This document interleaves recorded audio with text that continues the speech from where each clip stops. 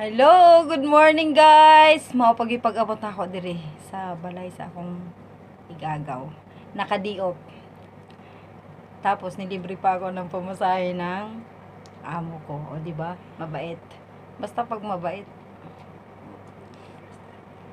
Ay, pero pasensya na. First time kong mag-vlog ngayon.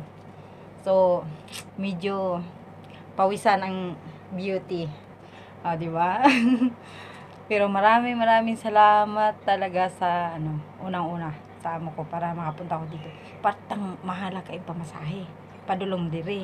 Unya mag-stay ko dire, siyempre hingikan ko sa'yo. Maaga ako umalis para makarating ako dito. Mga, siguro maka, mag-stay ako dito mga 6 hours para ako makauwi ulit. Siyempre, trabaho ulit. Oh, di ba? Oh, so, wala. Medyo, medyo, wala. Medyo black ako ngayon, ah. Wala akong maisip, eh. Sige, bye! See you later!